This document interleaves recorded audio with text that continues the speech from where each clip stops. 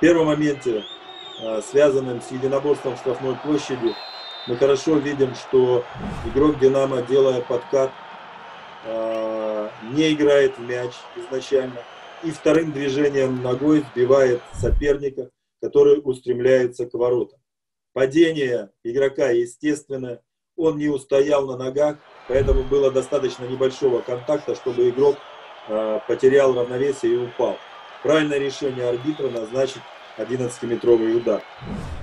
В верховом единоборстве игрок 11, который пятью минутами раньше совершенно заслуженно был наказан желтой карточкой за, испо... за использование локтей в неспортивной манере, вторично, выпрыгивая вверх, выставляет локоть. Кроме этого, он прыгает не вверх, а вперед. Это опасно для здоровья соперника. Произошел контакт плеча и лица э, игрока соперника, поэтому также правильное решение арбитра э, показать вторую желтую карточку и удалить игрока номер 11 э, за пределы поля.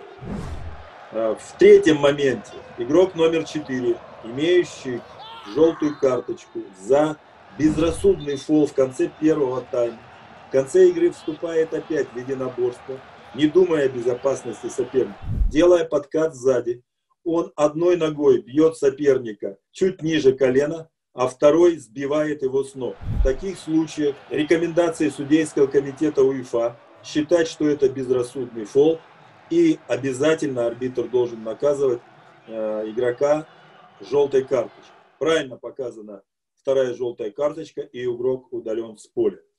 Хотел бы отметить, что все решения членов экспертно-судейской комиссии по матчу «Динамо» Рубин были единогласны.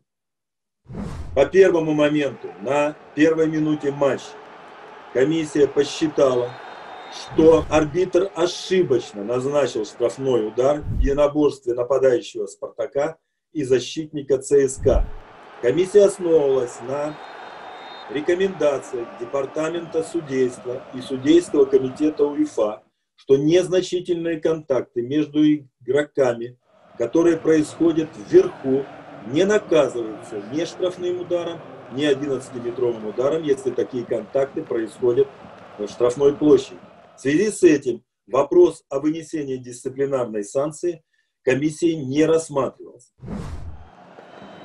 Во, во втором моменте, связанном с единоборством игрока номер 6 Спартака в штрафной площади защитником ЦСКА, комиссия приняла решение – Судья правильно не назначил 11-метровый удар, а вынес желтую карточку за симуляцию. Это решение мотивировано следующим образом.